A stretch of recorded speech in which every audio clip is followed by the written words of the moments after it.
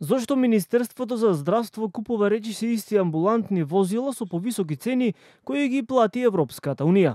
Пред само еден месец, државата како донација од ЕУ доби седум најмодерни возила за брза помош.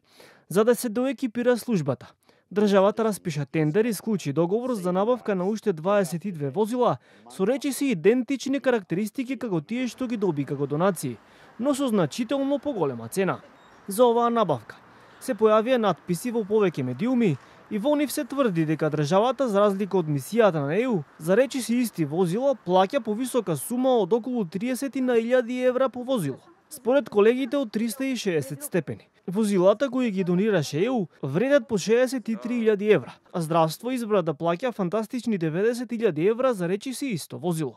Зошто? Постои ли сериозен случај на корупција и криминал? На тендерот за 7 возила, донација од ЕУ, Пријавени биле дури 7 компании, но на тендерот кој Министерството го распиша на крајот на декември 2023 година, се пријавиле само две фирми, и тоа Euroimpex и Автомобиле СК. Иако понудата на Euroimpex била поекономична, односно за околу 20.000 евра поевтино или 70.500 евра за возило, бизнисот го добила Автомобиле СК, според сторијата на 360 степени.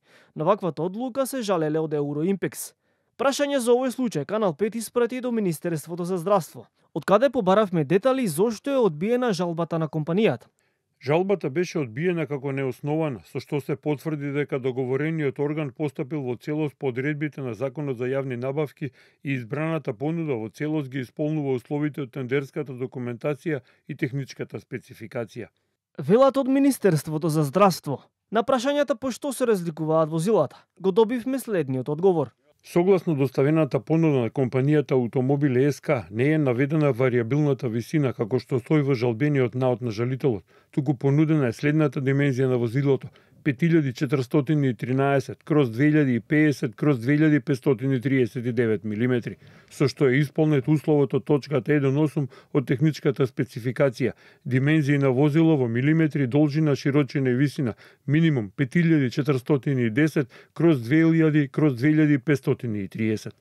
Додаваат од ресорното министерство. Стапивме во контакти со компанијата Автомобиле СК за коментар околу пишувањата во медиумите дека нивната компанија била фаворизирана од здравство. И покреветеното, одговор не добивме. За подсетување, Автомобиле СК во време на Covid и економската криза во 2022 година добила тендер за возила на државни институции во висина од преку 270.000 евра.